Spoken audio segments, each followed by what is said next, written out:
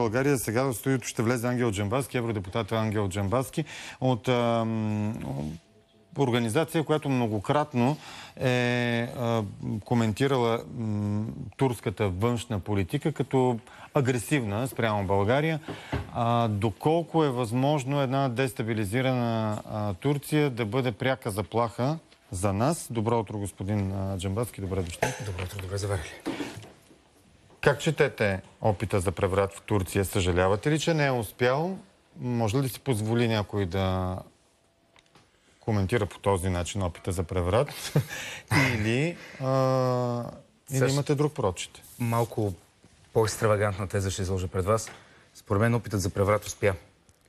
Този опит продължава вече от, може би, повече от 15 години, от 97 година насам, откакто сегашният президент на Турция системно и последователно демонтира кемалийските институции в тази република и се опитва да ги замени със своя едноличен режим.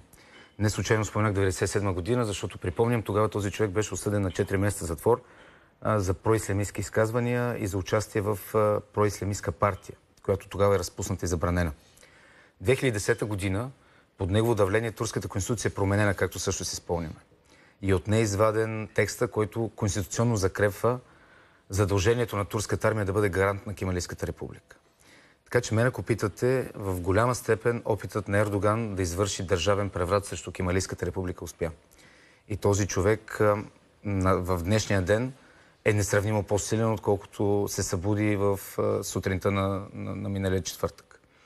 А, на събота. Събота, петък срещу да, събота. Петък да, срещу събота. А, виждате, че ще се възползва категорично от ситуацията, която той самия нарича дар от Бога. Виждате, че започна преследване, гонения по списъци, които са предварително подготвени. Никой не може да му убеди, че 6000 човека се арестуват просто така. Виждате, че арестите са точно двете институции, които са последните пазители на Кемалийската република. Това е армията на Турция и, и съдилищата, съдебната власт.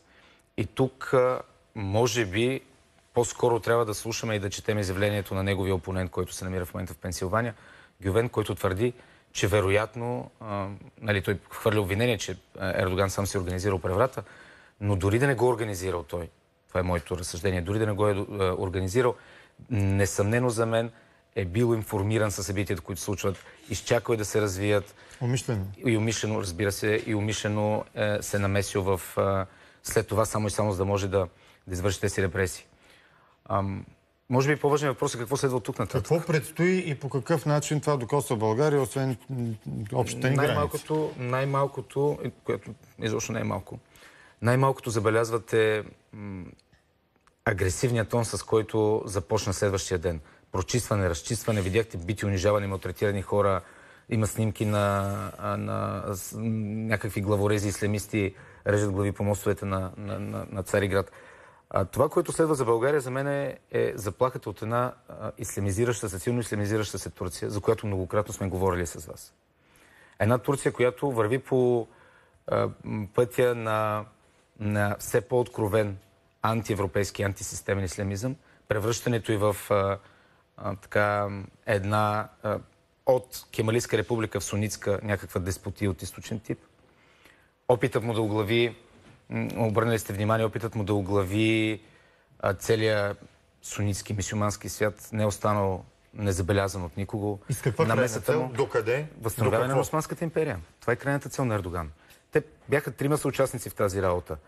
Ердоган, Давутоглу и Гювен. Не вярвате, че амбицията може да е само узурпиране на всякаква налична власт, а смятате, че а, има амбиция извън да. пределите, чисто да териториални неговата предели. Амбиция, неговата амбиция, която не веднъж е заявявал, е възстановяване на Османската империя. Първо каза в нейните економически, а след това и в нейните политически граници.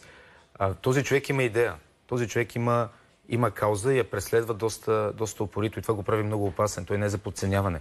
Той не е човек, който може да бъде пренебрегван и да бъде подценяван в неговите политически действия. И все пак, това, което виждаме е една мащабна подкрепа, макар че се появяват сега информации как са събирани хора с СМС, но мащабна подкрепа. Резултати от изборите 52%. Глас народен, глас Божи. Нали така? Избори, явяваш се на избори и ги печелиш. Добре, и в Столипиново, се, е в Столипиново се провеждат избори също така, само че никой не вярва на демократичната воля там. А, изборите в Турция са много силно и политически обществен живот в Турция е много силно доминиран от тази недемократична а, политическа организация. Никой не може да, да успори факта, че а, Турция е много далеч от либерална демокрация, че изборите се манипулират, че медиите са под контрол, че политическите противници се вкарат по Ако затворите и че се бият. не желая тези ценности, които ние налагаме и прокламираме за, едини, за, за правилни, Нали видяхте, че част от населението е против този, тази политическа линия. Видяхме го на площад а, Таксим, видяхме го на площад Гизим. парка, там, който, между другото, той там се опитваше да възстанови ни стари османски казарми, който беше много показателно. Също така искаше да възражда остатъци от Османската империя. А, ние имаме интерес от републиканска и кемалистка приятелска към България Турция. Но в момента това, което се случва, е една недемократична ислямистка Турция, която е агресивна към съседните народи, включително и към нас. Ще бъде След малко тук- агресивна Да, тя е в момента България. агресивна. Твърдите В- го. Категорично. В- След малко тук ще бъде турски посланник. Попитайте го а, как той си представя своето поведение а, в а, държава, в която е посланник, а, да, да закриля покровителства, да, да прибира политически лидери и да следва политически лидери. Попитайте го, ако български посланник в Турция, който между другото има ли посланник в Турция, само да питам, някой да е Има чувал тази разбира, дама. се, има, разбира се, и това е спекулация на гърба на Надежда Нейнски, доколкото разбирам. Устна заповед, ако обича да не говориш, за да се изказва само един човек, това да е Борисов и тя я спазва. Може да е така, не И знам. на нейн гръб заглавие, че нямаме посланник и че за нищо не става. Това взимам си думите назад. Просто не, не, не е чух, не видях да се изказва, а, а взимаш отношение. Спазва иерархия.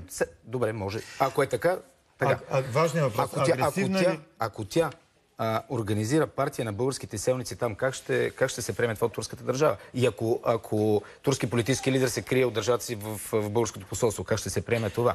Важни въпроси. Предстои разговор с посланника на Република Турция у нас след малко. Благодаря на Ангел